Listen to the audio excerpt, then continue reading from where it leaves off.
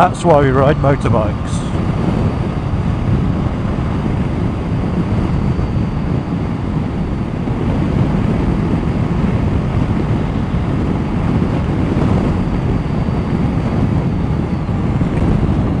Fucking knob. What an utter idiot. Dictating where I put my bike. Ah.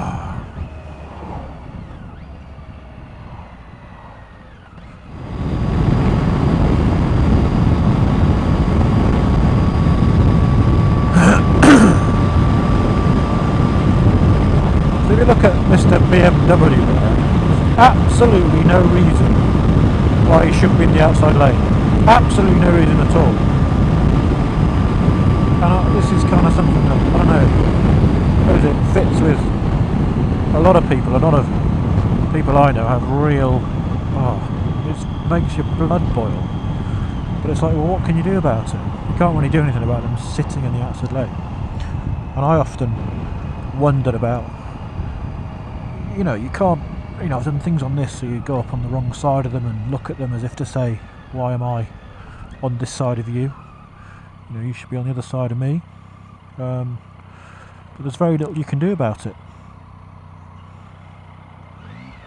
Unless maybe we started a a campaign.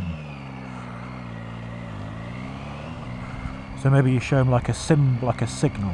Show them a maybe three fingers. Maybe show them like a three fingers to tell them, look, you know, there's there's three um, there's three lanes here. Why are you taking up more than you need to? If it's not aggressive, you're not, you know, you're not sticking the V's up. You're not getting angry with them. You're not undertaking them. You're just kind of going alongside them, showing them three fingers or two fingers if it's only a two two lane road just you know not those two fingers obviously. But it's showing them you know sort of a silent protest. And hopefully people will will get the message you know. I'm sure I'm not sure if it's if it's true or not but I'm sure that you know there's loads of congestion that's caused by you know, a number of people being in the middle lane and giving less opportunity for people to overtake. That's basically what you're doing, isn't it? You're, you're halving the number of lanes you've got to choose from by sitting in the, in the middle lane or the outside lane for that for that fact.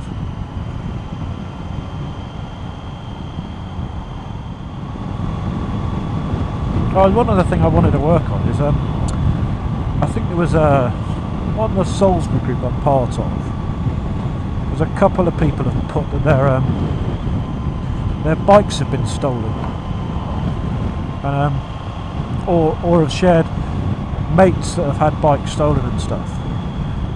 And I suppose for a couple of days, well, no, it's been a week for me.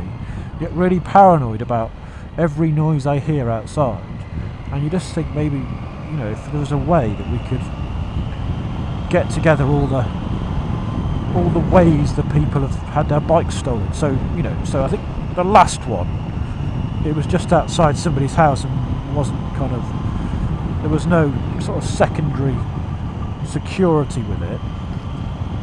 You know but if there's if there's a somebody's had a bike stolen that you know the guy needed to bring bolt croppers or the guy had a I don't know a, you know a, a, a, torch welding device with him or something you know. So we, we can get to find out that what people have got you can then start to protect yourself from them you know so if you had like a or even an alert system so you know that a week ago somebody in your vicinity had their bike stolen and uh and you should be wary of it. You know I think maybe that you know there's nothing it's not beyond beyond the art of the possible to make a website that you know you have that flags up if somebody's had a bike stolen to advertise the fact that the bike's stolen but also ask the guy who's had it stolen, how was it stolen? Where did you leave it? What, ev- what debris was it? Did was it obvious they'd cut through it? And you know, was it? Were there any noise? Did they turn up in a van and stuff? So we all start to build up a picture of what these twat bags are doing. And and then we can start, you know, putting in putting in stuff to stop them, making it difficult for them. Little bastards.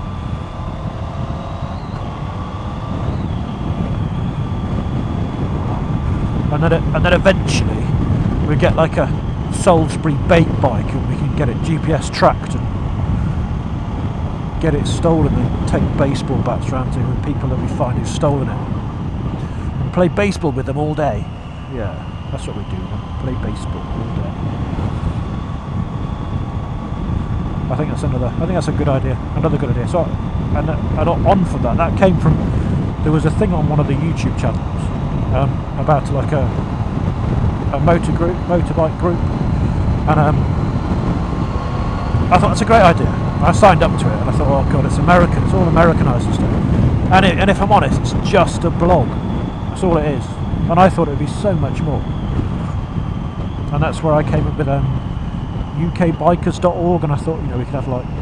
Um, I give you, I give you an example um, of make getting a list together of biker friendly car parks. And I don't mean what the council say, I mean what bikers say.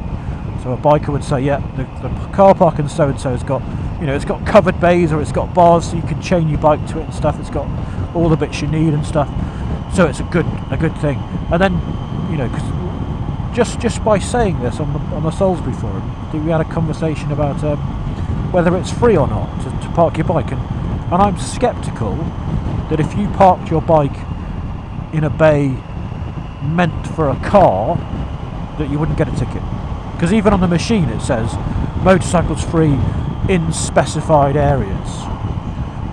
So um, those are the kind of things we need to kind of work out. You know, is and it's only bikers that can do that. You know, this this car park's good for this or that kind of stuff.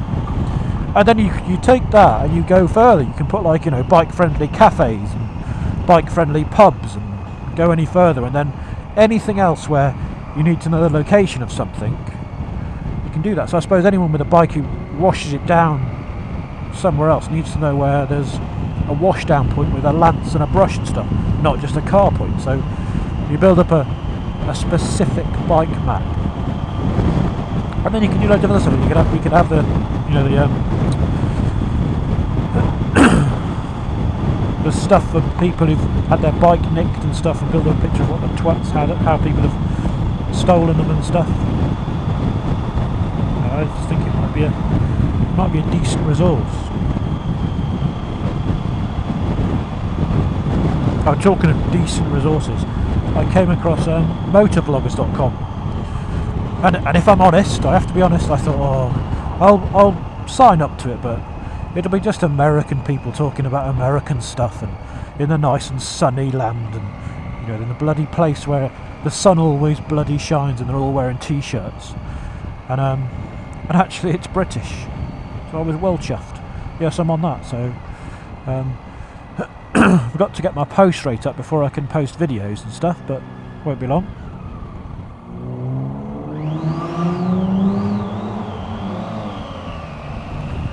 He just been rev bombed by. Couldn't hear myself, so must have been big.